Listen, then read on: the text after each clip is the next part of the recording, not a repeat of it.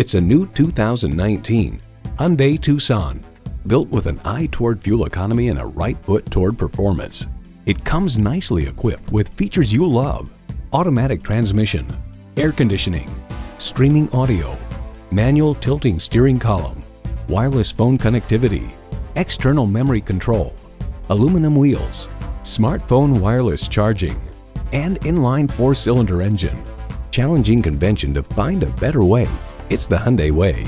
The time is now. See it for yourself today.